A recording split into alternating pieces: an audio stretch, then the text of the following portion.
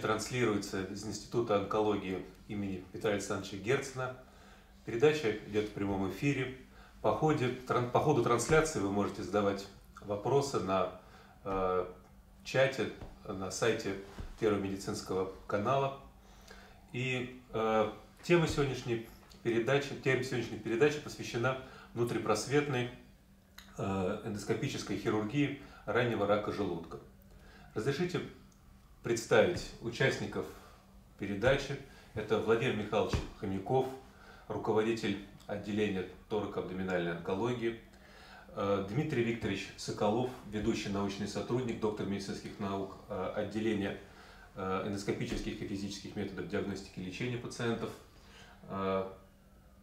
злокачественными опухолями. Э, Елена Станиславовна Карпова, ведущий научный сотрудник этого отделения.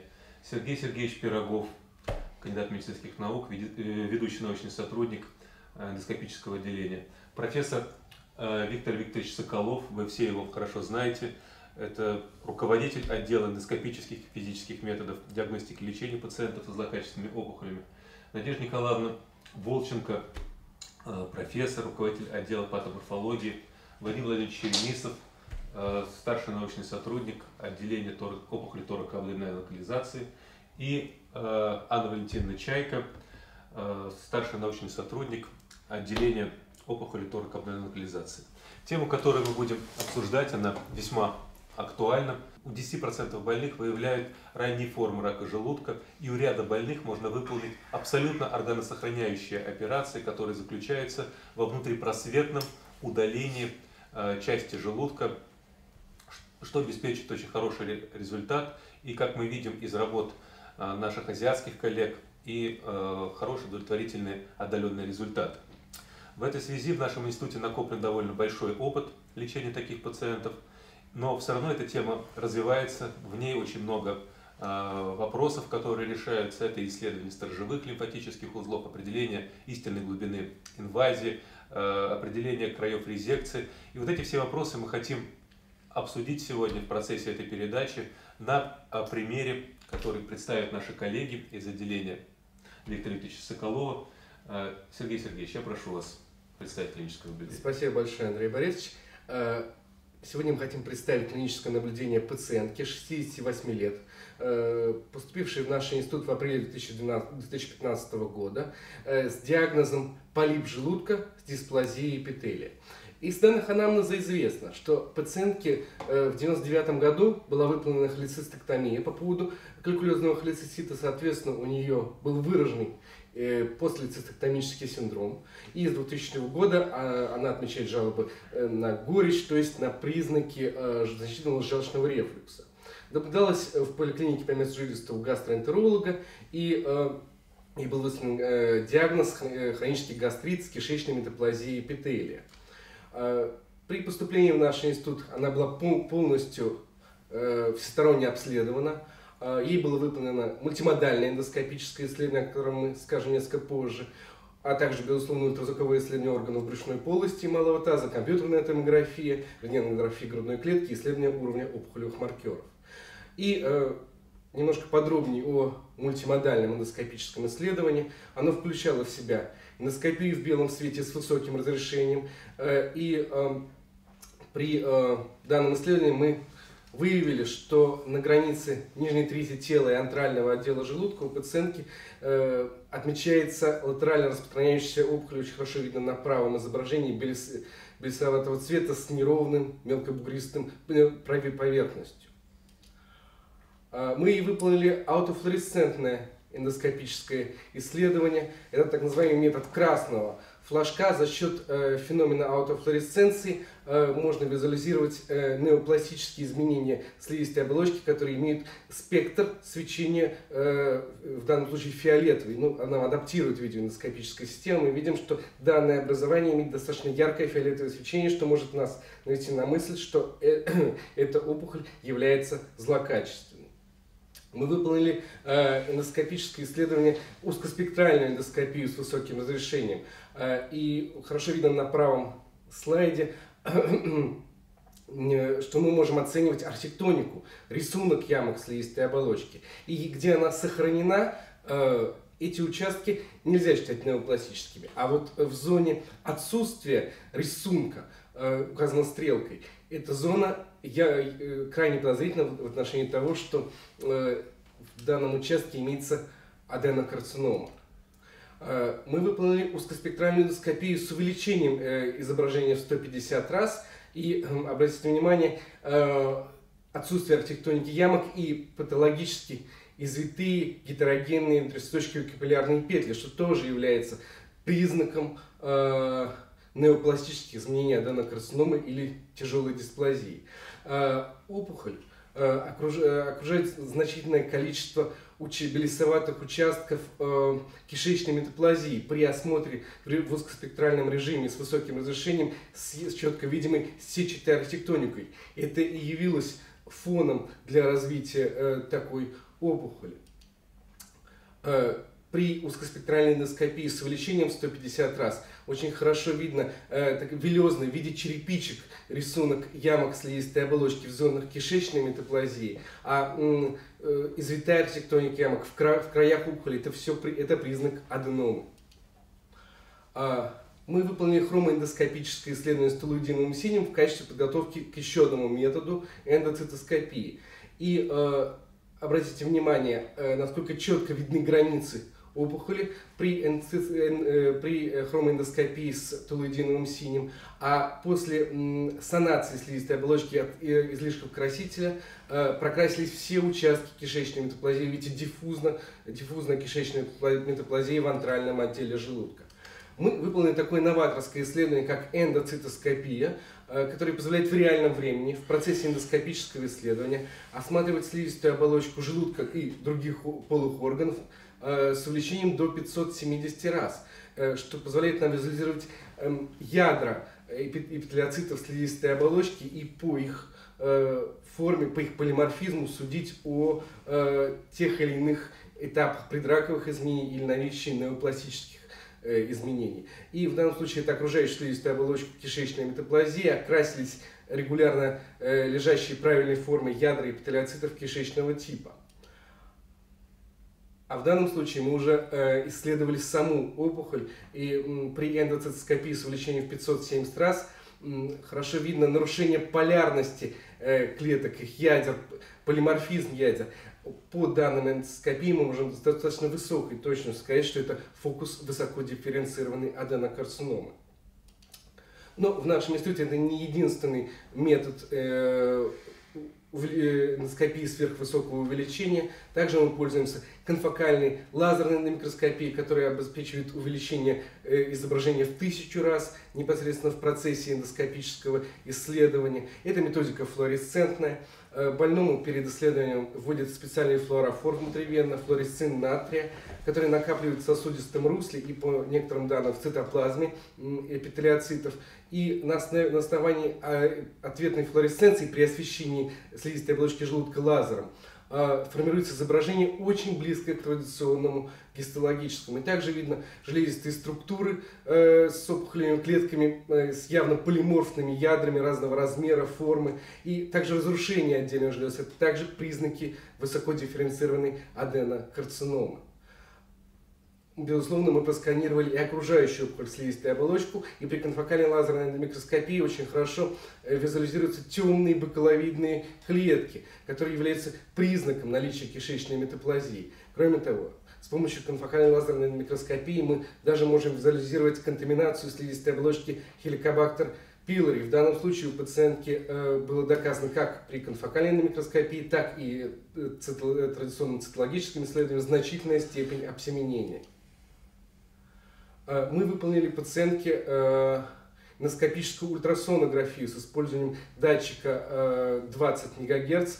И было выявлено, что локализуется в пределах слизистой оболочки, то есть нет более глубокой инвазии. Также мы не обнаружили по данным эндосонографии увеличенных парагастральных лимфатических узлов.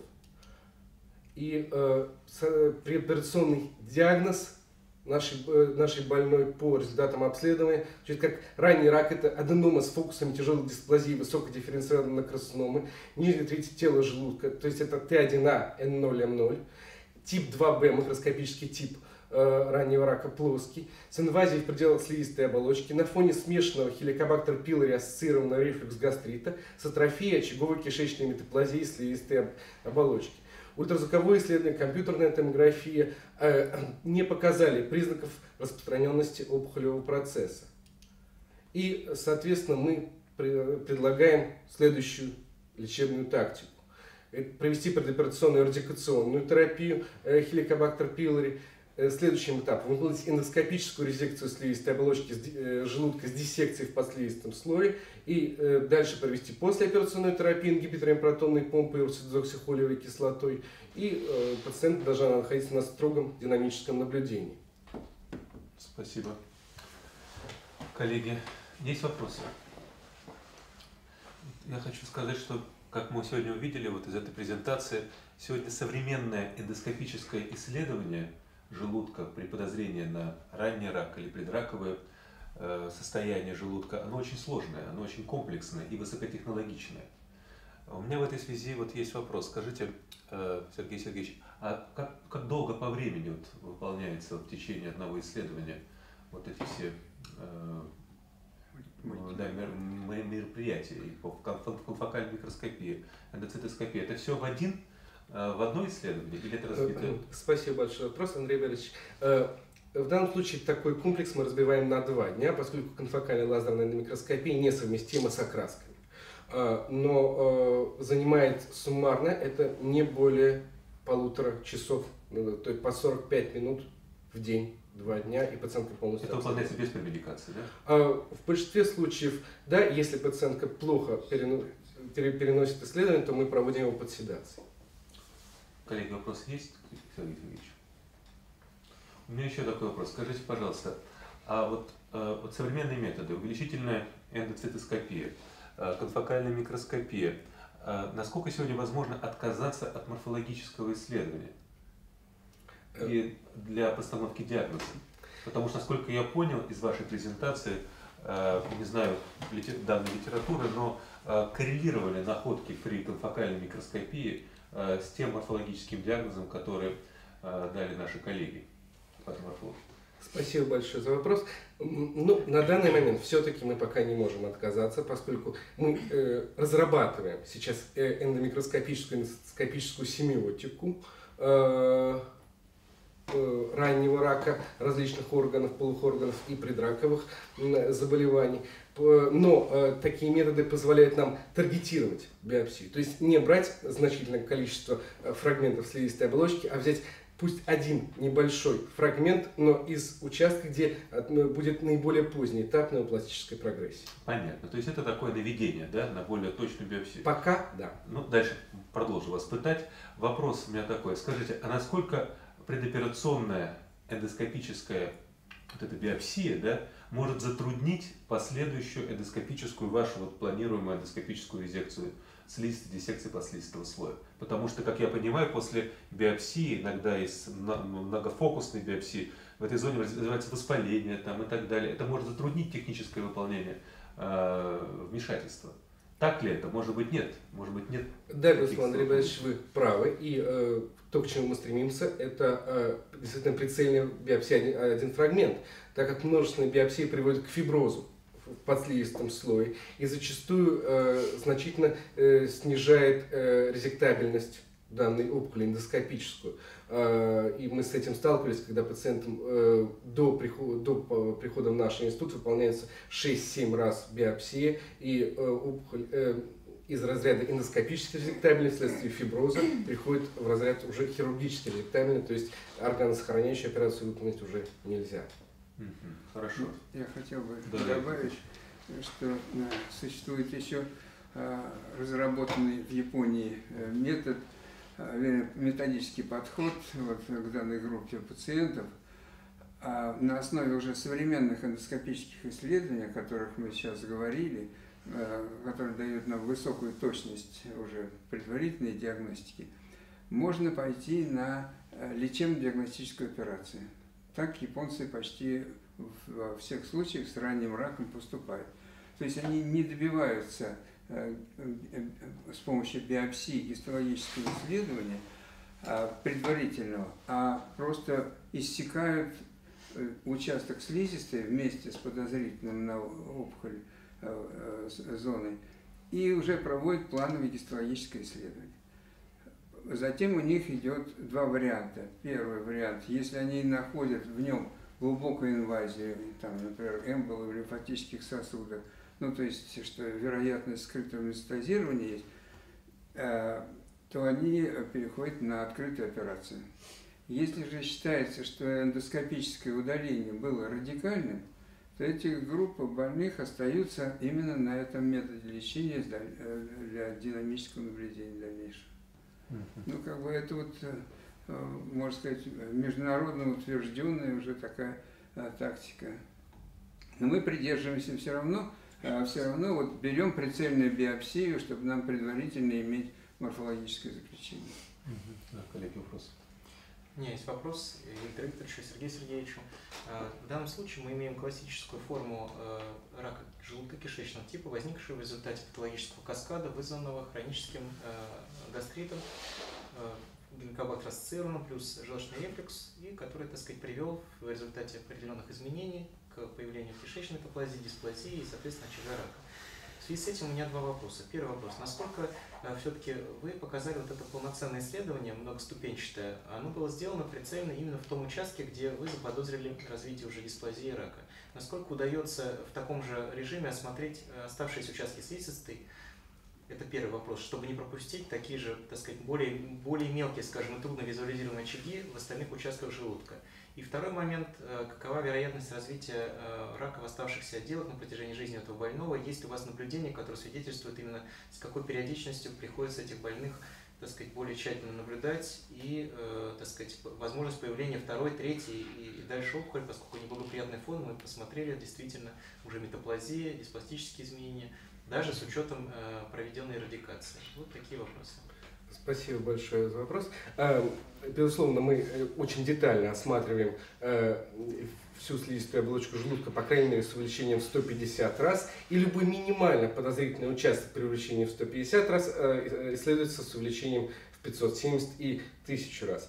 Данные пациенты после лечения остаются в группе строгого динамического наблюдения, так как действительно риск появления метахронных очагов раннего рака возможен. Но все наши терапевтические действия, а именно радикация хеликобактер пилори, назначение препаратов фурсидозоксихолевой кислоты и ингибиторов протонной помпы, нужно как раз для того, чтобы снизить риск появления метахронных очагов.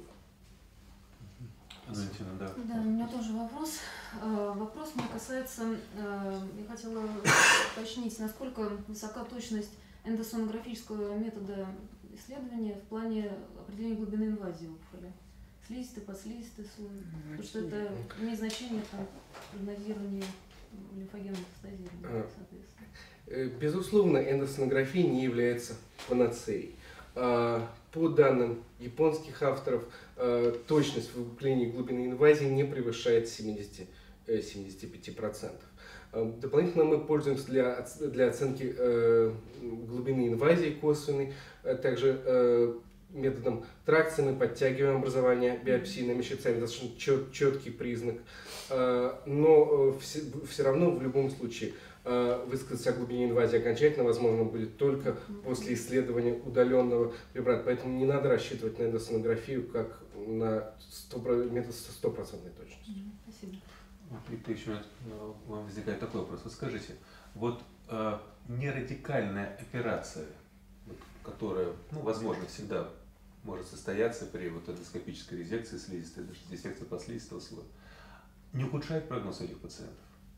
Если даже вот выявляется потом э, более обширное прорастание стенки желудка и так далее, и так далее, вот это не ухудшает, что пишут наши коллеги, которые обладают большим опытом? Ну, знаете, и по нашему уже многолетнему опыту, э, во всяком случае, выживаемость в этой группе не, не, не хуже даже при э, частичном, неполном удалении при первой эндоскопической операции. Ну, вот я, может быть, позже скажу, что у нас есть группа больных, которым мы многократно повторяем эти исследования, э, лечения. Вот. И э, выживаемость у нас средняя э, больше 7 лет по, по этой группе, которым проводилось эндоскопическое лечение. Хорошо. Еще такой у меня вопрос. Скажите, пожалуйста, а вот уже, не знаю, в вашем опыте, по данным литературы, какой процент недостадирования больных раком желудка, которые идут на эндоскопическую резекцию? Как часто мы можем ошибиться в плане вот лимфогенной распространенности? Я понял. Спасибо за вопрос. Э, вы знаете, я тоже, вот если будет время, об этом скажу более детально. Да, мы сейчас вплотную подошли к вопросу э, поиска э, стержевого лимфатического узла, так называемого, то есть попытку во время интероперационного, во время обследования решения вопроса о тактике лечения, сразу определить, есть скрытый метастаз регионарный, ближлежащий, или нет. И у нас такая методика совместно с вами и э, разрабатывается, можно сказать. У нас уже э, первые такие позитивные есть результаты. Поэтому тактика современная, она в чем заключается? Идеальная. Это поиск, марки, поиск э, сторожевого лимфатического узла, прямо интероперационно, лапара и гастроскопический. Э, э, удаление этого лимфатического узла, срочное гистологическое исследование. Если у нас там метастаза нет, то с высокой вероятностью мы можем считать, что у него нет и в других зонах метастаза, и мы можем удалять первичную опухоль. Потому что эндоскопическое лечение – это фактически удаление первичной злокачественной опухоли вот, от классической, когда мы удаляем регионарные э, лимфатические узлы. Если же там есть намеки на то, что там есть э, даже микрометастаз, э, тогда уже меняется тактика лечения, применяется уже открытая хирургия. Ну, может быть, она тоже там, может быть, тоже экономная операция, может быть, вплоть до клиновидной резекции. Ну вот, я думаю, что это современно. И Э, и у нас тоже есть, уже тоже расширился арсенал эндоскопического лечения. То есть мы можем сделать диссекцию, то есть иссечь слизисто-подслизистый слой до мышечного слоя э, вместе с опухолью. Но э, если у нас есть риск, мы можем сделать полнослойную резекцию. То есть фактически мы делаем окно в стенке желудка и ушиваем его. Современные. Спасибо. Да, да, Виктор скажите, пожалуйста, Существуют ли ограничения технического характера для э, использования метода эндоскопического лечения, э, э, удаления, эндоскопического удаления опухоли с подслизистой диссекцией? То есть по размерам опухоли, по ее локализации, в зависимости от локализации на передней, задней стенке желудка, верхней, нижней трети желудка и по размерам. По глубине Какие эрозии, ограничения? Да? да, и по глубине эрозии. Ну, согласен, что в зависимости от локализации опухоли то есть это их удаление разной степени сложности. Получается. Есть более удобные э, локализации, где э, более безопасно и легко удалить. Есть э, локализации, вот, которые вы называли, там, фундальный отдел, там, верхняя треть, более сложные. Там требуются дополнительные специальные эндоскопы. То есть там надо оснащение дополнительное иметь, например. Можно комбинировать лапароскопическую и гастроскопическую э, методики и аппаратуру. Ну, э, вот современные, э, современные подходы, технологии ну, не дают нам э, каких слепых зон в желудке, чтобы не использовать этот метод. А иногда нам приходится менять тактику уже во время лечения, потому что Казалось бы, и эндоузий дает нам глубину в пределах слизистой оболочки. А когда мы начинаем иссекать, мы понимаем, что здесь э, инвазия намного глубже, поэтому мы должны переходить или на полнослойные резекции, или переходить на открытую хирургию. То есть это фактически вот э, наиболее сложные случаи, они требуют уже кооперации абдоминальных хирургов и эндоскопических хирургов. Продолжение вопроса, Владимир Ильич. Скажите, а дифференцировка опухоли может влиять на выбор метода лечения. Разрешите, я Да, добавлю да. вопрос Да, да. тоже. Не только дифференцировка, а какие вообще морфологические факторы являются Да, да, да. противопоказанием к выполнению Мгм. подобных канонов вмешательств. Ну вот, эм, эм, э, жалко, что этот материал, если он пойдет, он пойдет, Пойдет немножко попозже. Мы, э, у нас примерно где-то, наверное, 15-20%, которых мы оперируем эндоскопически, это больные, а, им представляется этот метод как альтернатива открытой хирургической операции. А, а большая часть э, больных – это больные, которым или отказано в хирургическом лечении из-за соматического статуса, преклонного возраста, вот, тяжелых сопутствующих заболеваний, или очень высокий риск осложнений, когда хирург колеблется. Вот, э, одновременно и можно выполнить, потому что ранний рак, казалось бы, это, и э, больной может не выдержать э, даже такой э, э, операции. Поэтому мы берем иногда, завышаем показания для эндоскопического лечения. Вот там мы расширяем показания, там мы берем и, и да? тошневидно-клеточные, там менее дифференцированные злокачественные опухоли. И мы тоже накапливаем опыт по этому лечению. Я на примерах покажу, что это не безнадежная, не, не бессмысленная э, работа. Потому что мы приносим этим боль- больным конкретную пользу и увеличиваем их срок жизни. Ну а так классически это, конечно, вы- вы- высокодифференцированная аденокарцинома вот, с низким э, индексом э, э, э, Пролиферации. э, да, э, и пролиферации. Вот по протяженности мы Владимир Владимирович спрашивал. А Сейчас по- изменились по те классические 2 сантиметра, По которые были... Нет, ну, мы все равно сохраняем позицию, потому что размер не- определяет э, чисто технические возможности выполнения операции. Вот, э, э, японцы нам демонстрировали таких пациентов, которых они удаляли по площади 8-10 и больше сантиметров. То есть это по- почти половина желудка фактически э, удаляется слизистая. Но это нужно на- насколько точно предполагать, что нигде нет глубокой инвазии скрытого метастазирования, то есть, ну, как бы сама по себе операция теряет э, с- смысл. А так, все-таки мы придерживаемся классических канонов. Основная масса это до 2 сантиметров. Ну, Но мы берем и э, до 4 сантиметров. Это как бы наша вторая граница. Мы ее расширили, и вот сейчас набираем риска, да, прежде клинический материал. Да, это в основном больные, которым или отказано, или очень высокий риск осложнения операции. Виктор, еще надо отметить, что японская популяция несколько отличается. Там другие формы рака. Рака Преобладает желудка. кишечный тип. Там преобладает кишечный тип, там более стелющиеся формы, которые идут и распространяются так вот самое, по поверхности. А у нас все уже несколько, насколько я знаю из литературы, другая популяция больных и опухоли склонны к инвазии в стенку. Поэтому действительно наши критерии э, к определению показаний для эндоскопической резекции не столь широки, как в Японии. Потому что таких пациентов мы в меньшей степени наблюдаем. Вот с кишечной метаплазией вот, и так далее, и так далее, кишечного типа. Вот у нас вопрос есть из интернета. Сейчас из интернета я вот задам. Дмитрий Викторович адресует этот вопрос.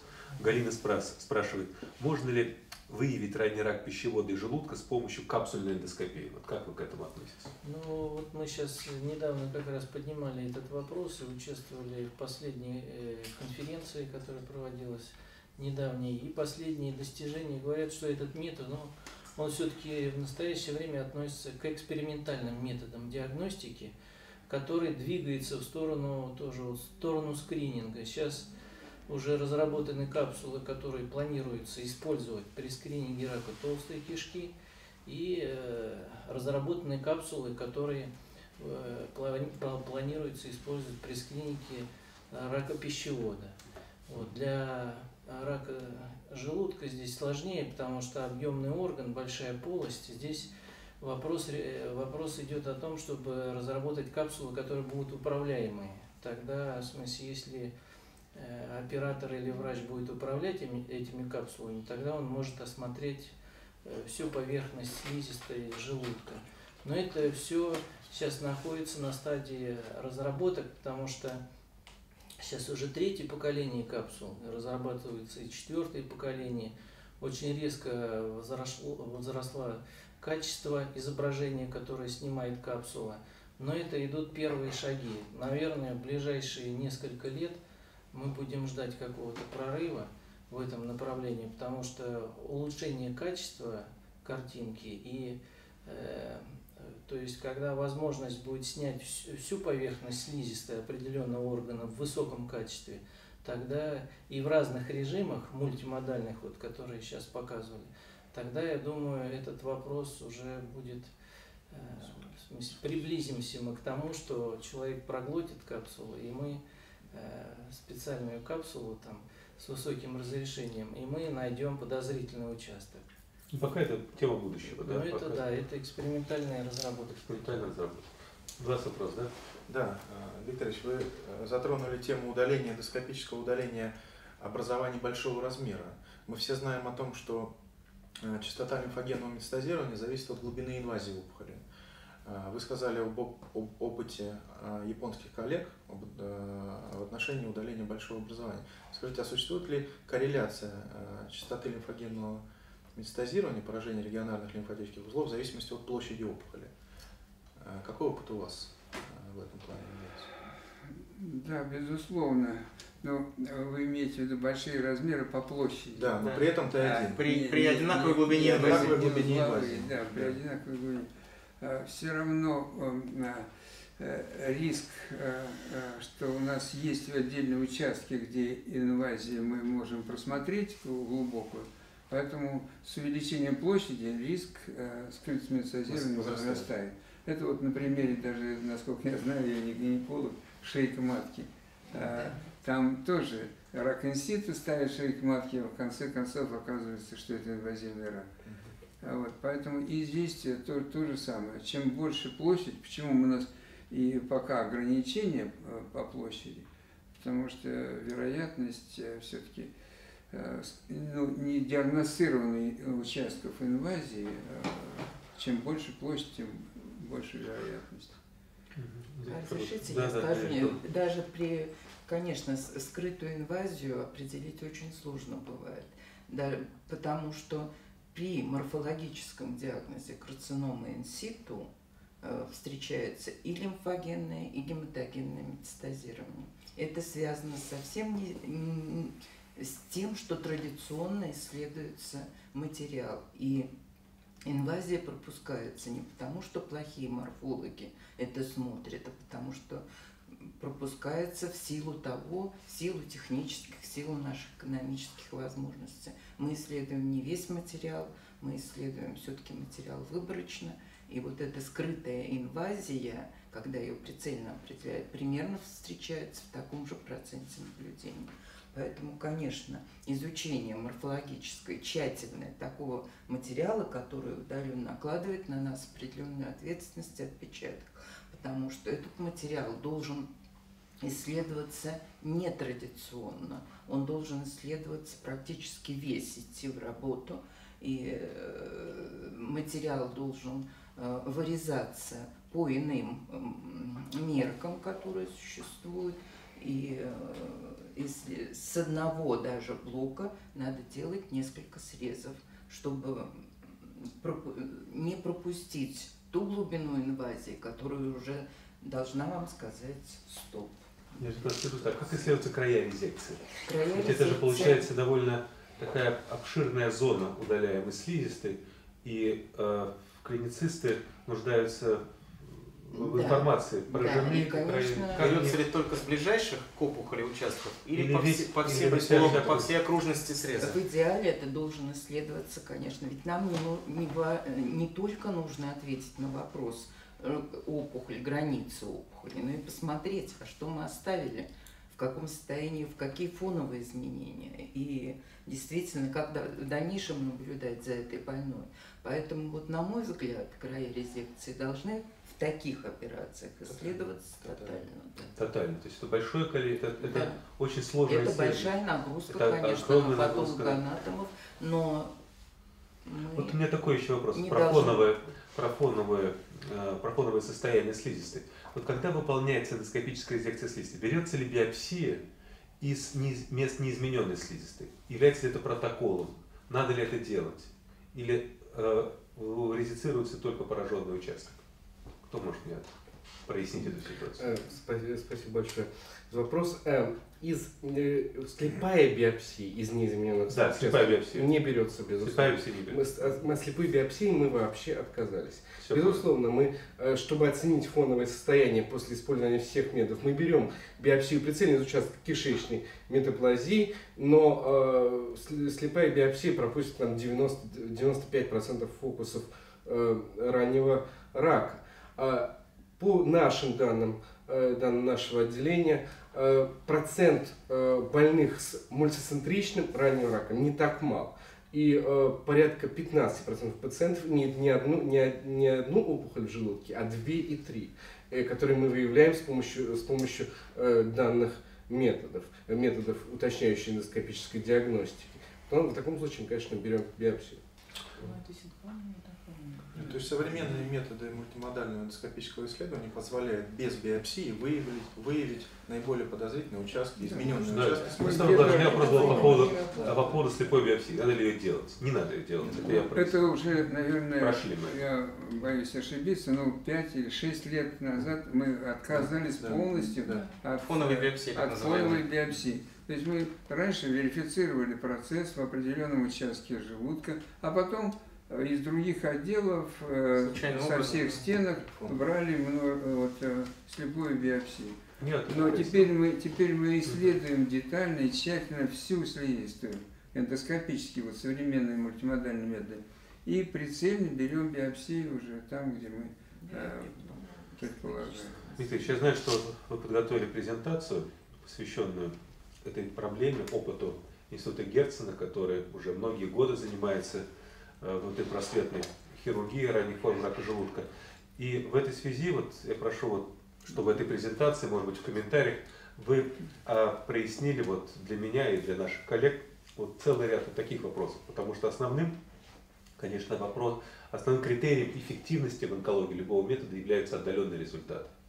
Поэтому мы надеемся, что вашей презентацией, вашими комментариями вы проясните нам частоту рецидивов после выполнения эндоскопических резекций, Э, выживаемость этих пациентов, наш опыт, опыт наших азиатских коллег, которые пропагандируют этот метод, э, как э, устранять эти осложнения, я имею в виду кровотечение, перфорации, которые могут случиться во время этой операции, их чистоту, насколько этот метод действительно безопасен.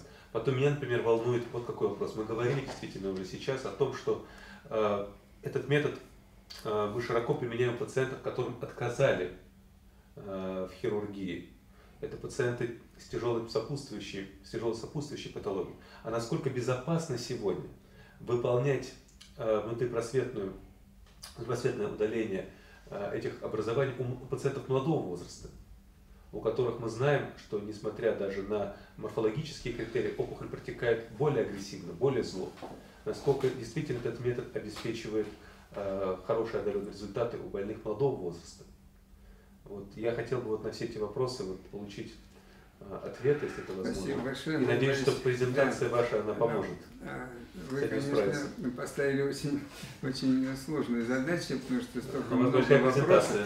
А, а, презентация все-таки не, не, не столь продолжительная, чтобы, может быть, на все детально ответить, но я постараюсь на основные вопросы а, вот, указать.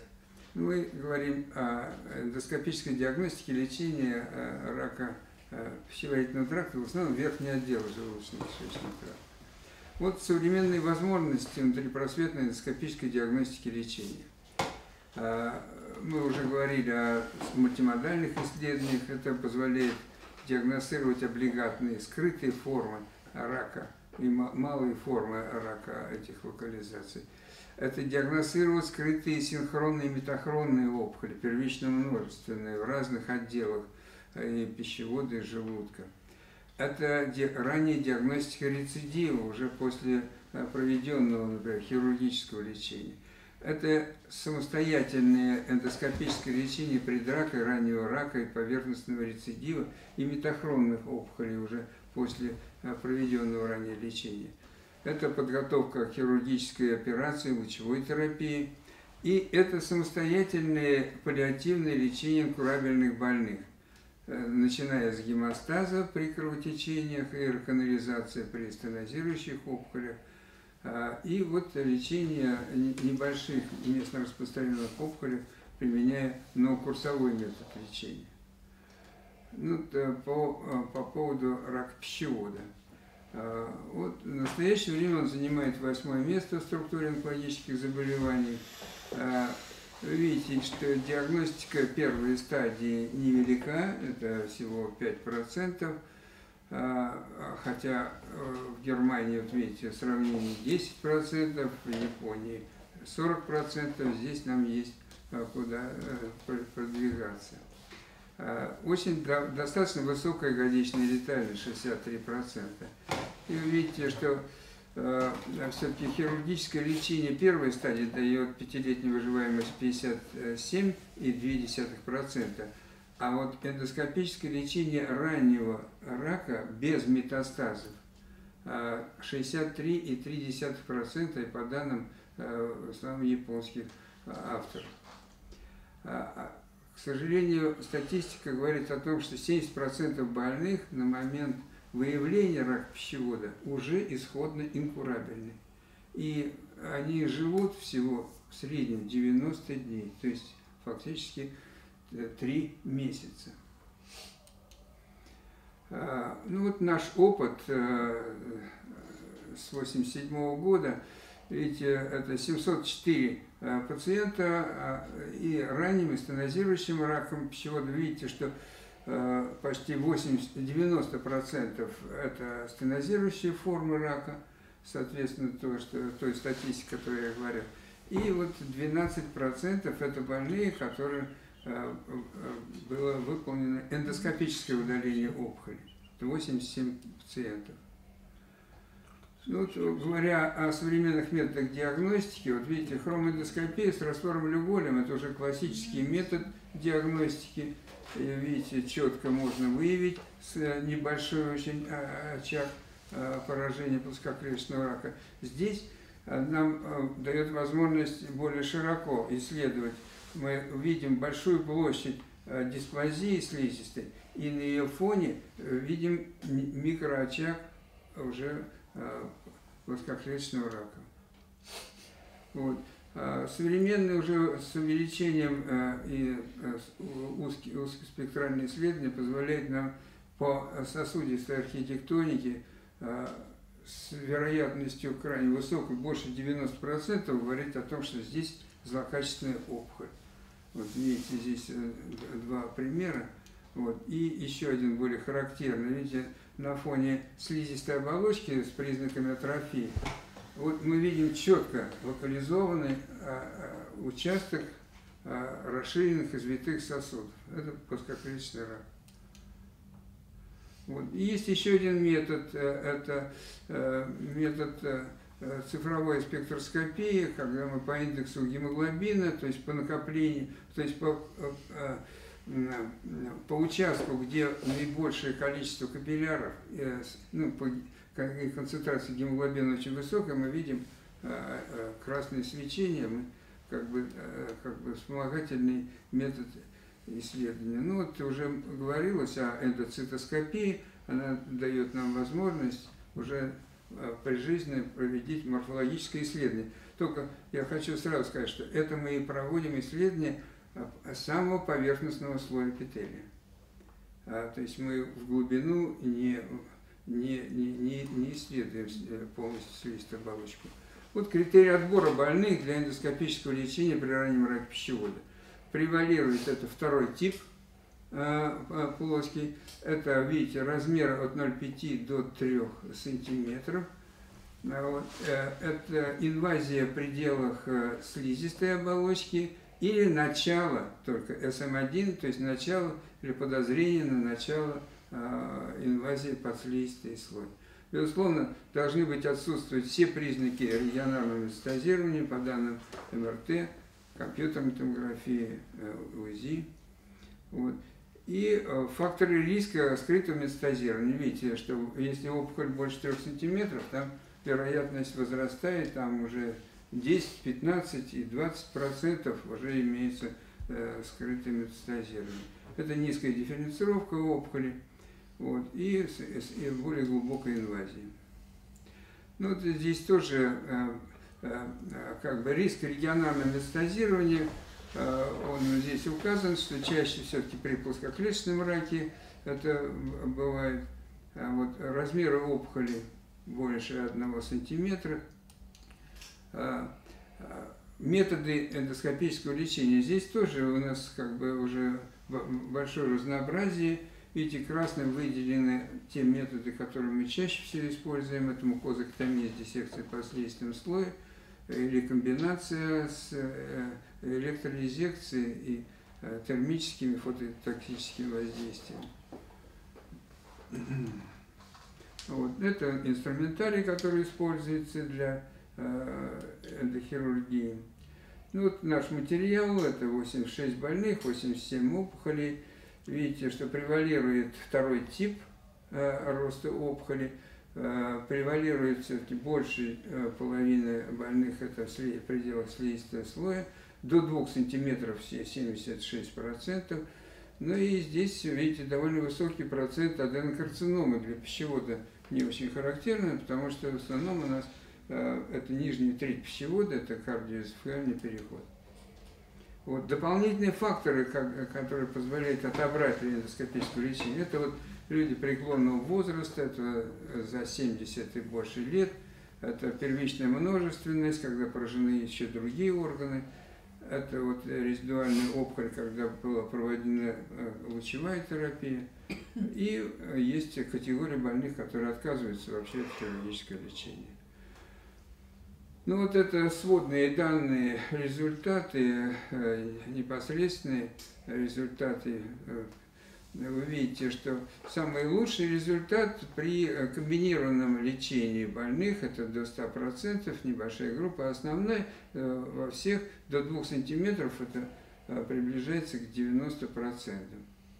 А что же делали мы, когда не удавалось эндоскопически удалить опухоль? Видите, в двух случаях была все-таки предпринята хирургическая операция, у шести лучевая терапия – Остальные все-таки многокурсовая проводилось эндоскопическое лечение. Вот. При рецидиве рака, который у нас наблюдался 14%, э, в трех случаях э, мы добились эндоскопически повторными, э, повторным лечением полной регрессии. Вот. У, у пяти а, все-таки было результат неудовлетворительный. Это группа больных, которым было отказано в хирургическом лечении. Видите, медиана выживаемости где-то около 5 лет. Ну, вот клинические примеры таких э, очень такие показательные. Это больной 79 лет, мы ему начали лечение по поводу рака пищевода нижней трети. Э, он прожил 12 лет в ремиссии, и фактически на возрасте 91 года он умер а, от инфаркта от сердечно-сосудистой патологии. Вот. Это пациент э, жив, э, слава богу, э, мы его продолжаем наблюдать. То же самое, рак пищевода, тоже нижняя треть, аденокарцинома.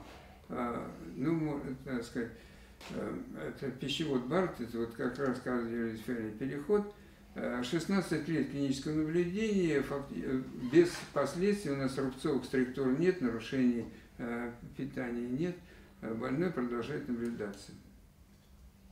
Еще одно наблюдение, это пищевод Барта, здесь комбинированный метод эндоскопического лечения, видите, здесь и органоплазменная коагуляция, и электрорезекция, и фотодинамическая терапия, и у нас без рецидива срок наблюдения 7 лет. Вот. Это вот классическая мукозоктомия выполнена, э, то же самое с хорошим э, благоприятным результатом. Теперь по желудку. А, с второго места в последние годы желудок, э, частота заболевания переместилась на пятое место. Э, э, всегда было вторым после рака легкого, теперь у мужчин это после рака толстой кишки и простаты, и у женщин после рака молочной железы и рака легкого. А, также видите, что диагностика ранних форм невысокая. При, профосмотрах выявляется только 0,2% рака желудка. Вот, у нас в стране около 5%, ну там по данным других авторов, я вот недавно слушал доклады, там до 10%. Ну, самый высокий процент это в Японии, стандартно во всем мире 57% выявления на ранней стадии. И отмечается тенденция к изменению и гистологической структуры, локализации опухоли. В пищеводе опухоли перемещаются в дистальный отдел пищевода, в зону кардиовизуального перехода, и начинает увеличиваться частота аденокарциномы.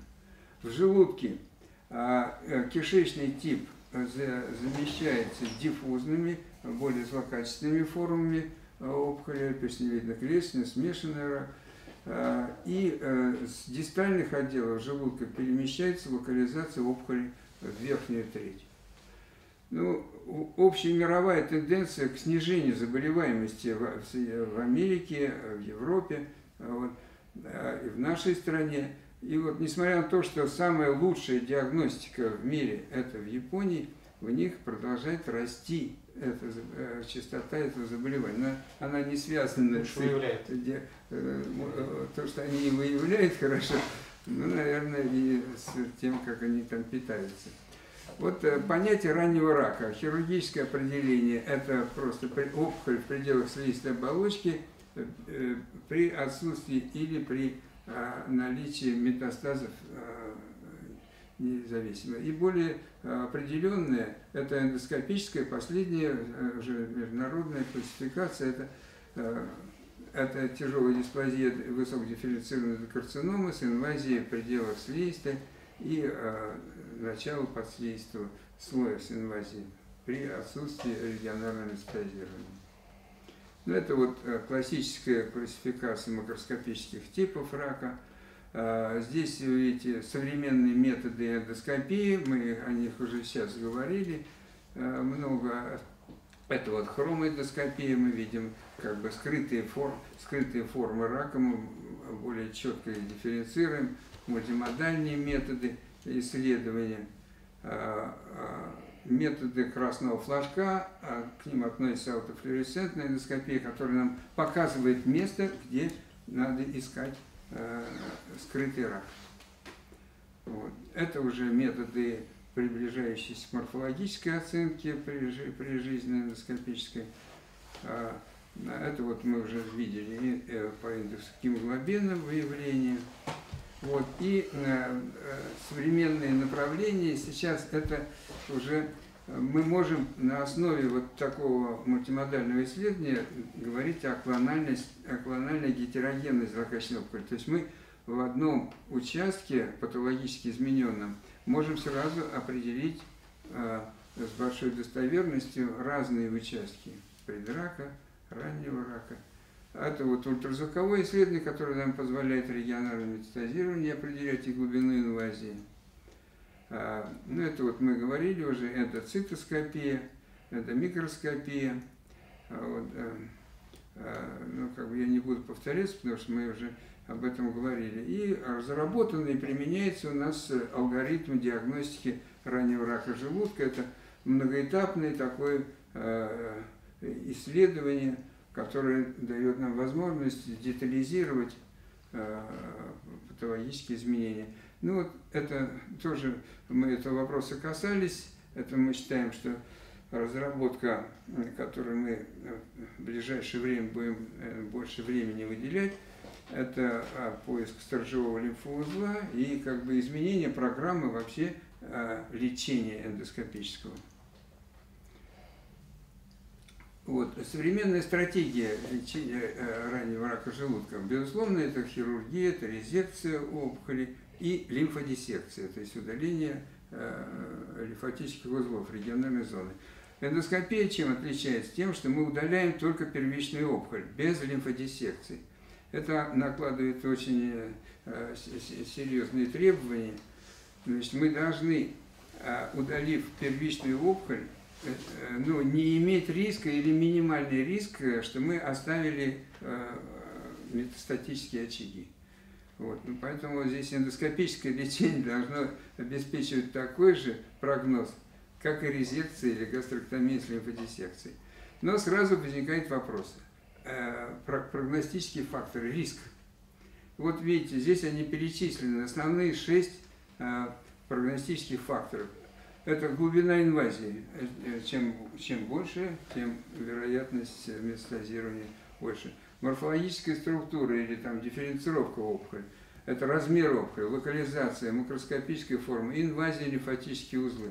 Вот, э, все это должно быть учитываться. Вот э, самые как бы безопасные это дифференцированная аденокарцинома с инвазией в пределах слизистой оболочки размерами меньше 3 см. В таких случаях вероятность скрытого, скрытого метастазирования 0,3-0,4%. То есть в таких случаях мы можем э, позволить себе предложить такую операцию э, больному как, бы, как альтернативу хирургического лечения. Но если у больного вы видите, например, э, риск метастазирования достигает там, 19 и больше процентов, когда вот там инвазия уже на всю глубину здесь, здесь уже альтернатива как бы уже под большим сомнением, мы можем предложить ее тогда, когда нет вообще у человека возможности удалить опухоль. Ну, то есть он отказан полностью в хирургическом лечении. Вот. Ну, те же самые критерии, как и по пищеводу, это основной второй тип, это размеры вот до 2 сантиметров. Вот. Э, это все те же самые методики, видите, их большое разнообразие э, эндоскопические. А вот. Мы используем, в основном сейчас чаще стали использовать для удаления опухоли в желудке сразу два, два эндоскопа. Вот. Это наборы специальные э, эндоскопические ножи, это схема лечения. Ну вот петлевая электрорезекция, пример клинический мы проводим. Это комбинированное лечение больных раком желудка – а когда применяется мукозоктомия, органоплазменная коагуляция и фотодинамическая терапия. А, вот тоже клинический пример а, больного, у которого была такая комбинация сделана и с хорошим э, результатом. Это еще один вариант малигнизированное аденома удаление, когда мы использовали и клипирование, и лигирование, и электрорезекцию, и фотодинамическую терапию. Но мы склоняемся, что Э, это идеально э, э, в службе эндоскопической иметь весь комплекс методик эндоскопического удаления. Чтобы как, вот, как хирург он мог взять один инструмент или другой, и здесь можно было бы эндоскопическому хирургу использовать весь стандартный набор. Ну, характерный пример, который нас ну, как бы вселяет оптимизм, придет для этой категории пациентов – Видите, исходно 83 года женщине. Перстневидно-клеточный рак желудка. Ей было отказано в хирургическом лечении. Но мы, э, э, с учетом ее небольших размеров опухоли, хотя инвазия там э, была все-таки на всю глубину, слизистый по слизистый слой, мы взялись за ее лечение. Провели 17 курсов фотодинамической терапии, два курса лазерно-индуцированной термотерапии. И она прожила 7 лет мы ее регулярно обследовали, у нее не развилось метастазирование, то есть у них не появилось отдаленных региональных метастазов, и она в возрасте 90 лет от сердечной патологии умерла. Хотя, вот смотрите, опухоль была у нее, это вот верхний э, левый угол, это та исходная опухоль, потом некрозы в результате лечения, и вот 2003 год – это остаточная опухоль. Она на всю глубину стенки – но э, все равно все-таки э, считаем, что при персивидно-клеточном раке хороший результат. Это вот э, одна из таких методик, которые мы сейчас стали все шире применять. Это эндолифтер, то есть метод позволяет проводить более чет, четко диссекции. Вот она здесь указана на клиническом примере этого больного. Видите, заживление, рубец на месте удаленного ранее рака желудка. Это еще одна методика, йо-йо, э, японская методика, когда мы а, подвешиваем на клипсы и лигатура параллельно эндоскопу проводится, подтягивается край опухоли и постепенно иссякается этот участок и удаляется. Таких вообще методик у нас при поднимании 6, которые мы применяем. Ну, это вот уже полнослойная резекция, о которой мы говорили. Есть сейчас ORSTICH, вот Э, хороший прибор, который дает, э, э, приставка, которая нам позволяет зашивать раны, фактически проводя полнослойные резекции. Вот. Ну и вот это были распространенные. У нас сейчас в настоящее время мы два гастроскопа таких небольших диаметров используем, как бы, которые вот на, на фотографии видите достаточно большая группа Э, участвующие в операции. Это три врача эндоскописта, две медсестры, анестезиолог, инженер. Э, и вот э, такая группа нам позволяет достаточно хорошо проводить лечение. Вот клинический пример. Аденокарцинома желудка. Значит, вот внешний вид этой опухоли довольно большая по площади, размерами, но по биопсии там только тяжелая дисплазия вот, по ультразвуку слизистый подслизистый слой. Мы провели классическую э, диссекцию э, под слизистым слоем, мукозоктомию, видите, отслаивается участок, полностью одним блоком удален. Вот здесь как раз о чем мы говорили с Надеждой Николаевной, вот видите классический пример рецитированного участка, и вот зеленые вертикальные полосы, это линии как раз Э, э, э, ну, разрезов для, для приготовления гистологических препаратов. Ну, вот, рано после лечения, это рубец, и в принципе это у нас достаточно хороший результат. И видите, гистологическое исследование, это уже после лечения, там опухоли нет. Просто вот плоская стелящаяся аденома с малигнизацией, это методика Э, такая мозаичная резекция многослойная. Сейчас я просто перелистаю тогда. Да, Большая вот, кстати, это тоже пример, все-таки я хотел его показать. Это э, первично-множественное поражение, метахронное. То есть три злокачественных опухоли в разных участках желудка, и они с интервалом в один год э, нами удалялись. И вот видите, шесть с половиной лет больной наблюдался после лечения и он умер от конкурентного заболевания. Э, кстати, у него не было рецидива. Вот. Э, результат, вот видите, 187 больных, у нас 212 опухолей раннего рака желудка. Вот, в основном это второй тип, это э, слизистая оболочка, две трети больных в пределах слизистой оболочки, и до 2 сантиметров, видите, основ, основная группа. И большая, большая часть это дифференцированная аденокарцинома. То есть то, о чем мы говорили, это классическая форма. Ну вот, видите, э, мы э, объективно себя оцениваем, поэтому не преувеличиваем. У нас все-таки, видите, полная регрессия, ну, то есть радикально удаленные, подтвержденные морфологически, э, все-таки это колеблется 87-83%. Вот нижняя группа, в комбинированное лечение, это больные инкурабельные, это как бы ну, такое вот э, условно радикальное или почти паллиативное лечение. Поэтому там процент э, все-таки к 70% подходит. И медиана выживаемости 73%. Вот, 3,2% больным была конверсия, можно сказать, после того, как мы, э, ну, нам что-то не удалось, были сделаны хирургическое лечение.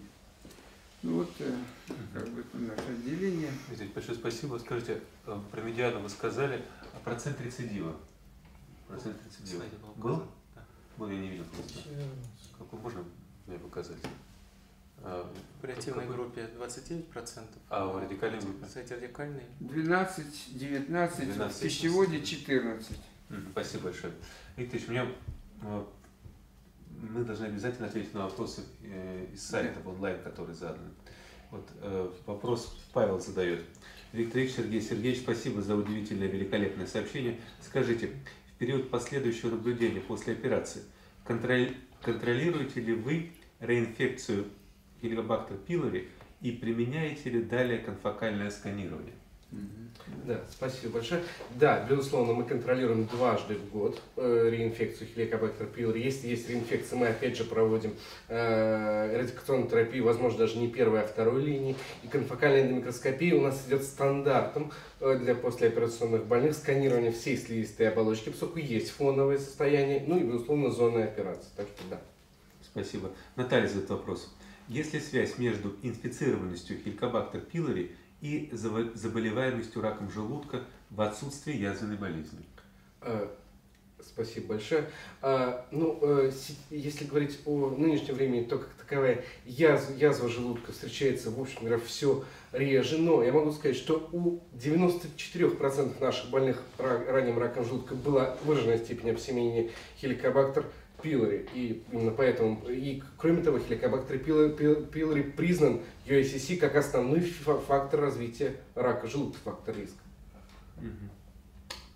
Хорошо. Для кишечного типа. Для так, кишечного типа. Да. Вопрос такой, еще задают. Так, Александр спрашивает, какое анестезиологическое пособие применяется при подобных операциях?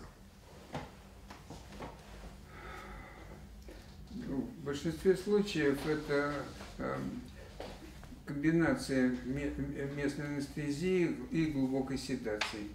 Но сейчас мы все чаще применяем э, э, метод уже э, общей анестезии.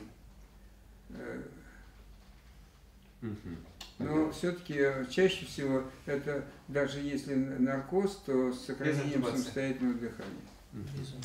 Вероника спрашивает, почему в ваших примерах только пожилые пациенты? Молодым такое разве не делают? Вот то, что я спрашивал. Молодым пациентам. Вот можно ли планировать такое лечение? Ну, у них э, значительные ограничения вообще при, для применения этого метода, поэтому, э, может быть, и поэтому и группа-то э, совсем малочисленная. Вот, потому что очень высокий риск и трудно э, как, э, рассматривать в настоящее время все-таки этот метод как альтернативу.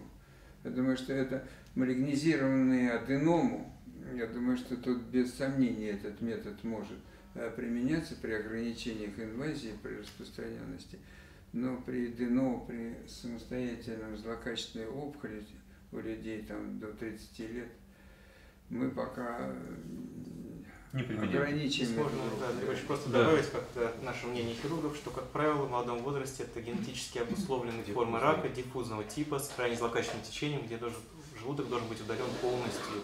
И в этом случае, конечно, слишком высока цена ошибки, поэтому лучше прибегать сразу к радикальным методам лечения. А наши японские коллеги с какого возраста начинают применять этот метод? Ну, как и у нас, так и у них средний возраст больных ранним раком желудка кишечного типа э, составляет у них 50 6 лет, у нас 64 года. Тут у нас просто нет молодых пациентов, поскольку у них нет этих раков. Чтобы развился полностью каскад каре э, от кишечной плазии до ананокарцинома, должно пройти время, и поэтому просто этих больных нету. Просто еще хотелось бы добавить, что мы начинали эндоскопическое лечение больных ранним раком желудка с 88 -го года угу. и э, с 87 -го года. И в это время как раз-таки э, к нам поступали для лечения больные, которым было категорически отказано в хирургическом лечении. Как правило, это больные были пожилого возраста, с массой сопутствующих заболеваний. И вот и на демонстрации было видно, что большие сроки наблюдения этих пациентов. Вот. Именно поэтому так у нас получалось, что вот эти клинические примеры, они как раз показывают, что пожилые больные с такой патологией могут быть излечены нашими методами. С тяжелой сопутствующей патологией. Хорошо. Виктор можно вот в заключение нашей программы вы определите кратко перспективы развития этого метода и лечения, где вы видите вот еще резервы, резервы да, возможности для развития этого метода. Ну, поделитесь своими секретами, может быть. Ну, э, мы сегодня как раз и коснулись почти всех этих вопросов и э, определений. Безусловно, прогресс очень значительный в диагностике, в эндоскопической. Он нас просто подталкивает при, для применения э, органов сохраняющих или сохранных э, методов лечения. потому что когда мы находим микроочаги, скрытые формы рака, но уже как бы не очень логично удалять весь орган, ну, если это не наследственное, а, там, тотальное какое-то э, поражение. Поэтому я думаю, что этот метод будет развиваться, будут уточняться показания, будет, конечно, модификация. Ну, то, что мы даже сейчас по последним докладам японцев видели, что они от диссекции начали рассматривать вопрос о полнослойных резекциях, вот, то есть более радикальные эндоскопические варианты лечения, э, с прогнозом хорошим по метастазированию, который нам позволяет э, сторожевые лимфоузлы диагностировать, диагностика их во время э, начала лечения. Вот. И мне кажется, все-таки для, для категории больных преклонного возраста, а их будет расти у нас количество, э, безусловно, комбинированные методы, которые вот у нас в институте разрабатываются, и мало информации от других участников этого направления.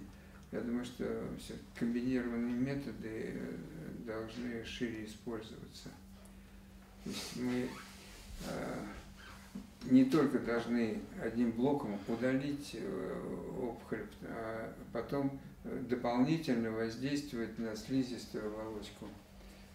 И не только в зоне удаленного, но с учетом вероятности мультицентричности, чего обрабатывать и э, все участки. Вот на клиническом примере, первом, когда мы видели кишечную метаплазию, которая поражает там две трети желудка, безусловно, мы же вставляем все это без, можно сказать, э, без э, должного лечения.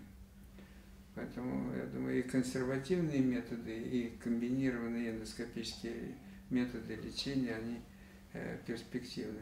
И по нашим данным у нас ни одного не было случая летального исхода, во всяком случае, во время операции у нас не было. Э, э, то есть э, в современных руках квалифицированных специалистов этот метод довольно безопасный. Вы знаете, я вспомнил сейчас в Австралии выступал один английский ученый, гастроэнтеролог, и он сказал, что современное направление такое, что клиника, в клинике должны быть врачи, которые э, в год выполняют э, до 100 э, мукозоктомий с диссекцией, ну, то есть эндоскопических операций. Если они не, не, не могут такого количества, то есть у них опыт не поддерживается ну, практически, то они э, должны решаться лицензии. То есть вот если в клинике делается вот таких опухолей, там, э, операций 2-3, ну, предположим, даже 10 в год, то это не, э, не накапливание клинического опыта. То есть вот на таком количестве нельзя создать школу или там, группу врачей, которые будут хорошо работать и качественно. Мне кажется, также и у хирургов, потому что это... Все... У нас немножко ниже, для пищевой 25. Да? У нас немножко сложнее. Да, у вас сложнее, да. Э, коллеги, большое спасибо. Я хочу поблагодарить всех участников программы за интересную дискуссию, за представленный материал. Я думаю, что, Викторович, мы э, решением нашего консилиума одобрим да, тот план лечения, который представил Сергей Сергеевич, поддержим клинику и будем рекомендовать выполнение эндоскопической резекции слизистой, диссекции пластического слоя, вы нас убедили в том, что действительно метод безопасный, при правильном планировании он может быть э, эффективным с точки зрения онкологии. И самое главное, что в функциональном плане этот метод обеспечивает очень хорошее качество жизни для больных. Да. Поэтому большое вам спасибо. Я думаю, что мы будем и совместно дальше работать плодотворно и развиваться к тому, чтобы Э, методы внутрипросветной хирургии, они совершенствовались и были более, может быть, расширены даже о том, чем мы говорили уже, да, для полнослойных резекций с определением стажевых лимфоузлов. Коллеги, большое вам спасибо. Уважаемые коллеги, кто находится еще в эфире, я хочу сказать, что время нашей передачи подходит к концу. Если вы не успели задать вопросы, то вы можете разместить их на сайте э, программ, этой программы на Первом медицинском канале, потому что завтра эта передача будет размещена на сайте. Э, мы ждем вас опять в цикле этих передач ведущей клиники России. И разрешите мне анонсировать следующую передачу. Она будет посвящена реконструктивной и пластической хирургии при опухолях головы и шеи. Поэтому ждем вас, ваши вопросы и активного участия. Большое спасибо.